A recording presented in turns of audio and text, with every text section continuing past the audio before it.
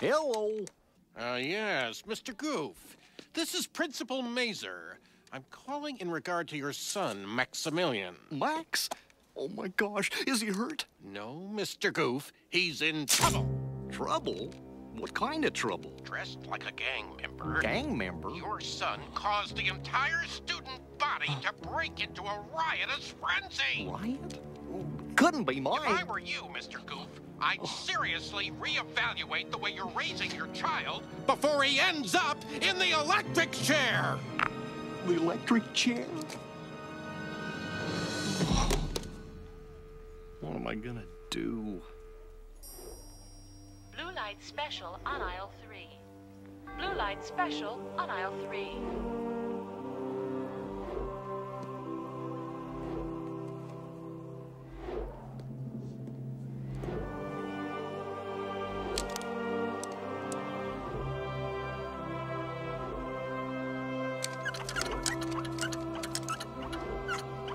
Lake Destiny.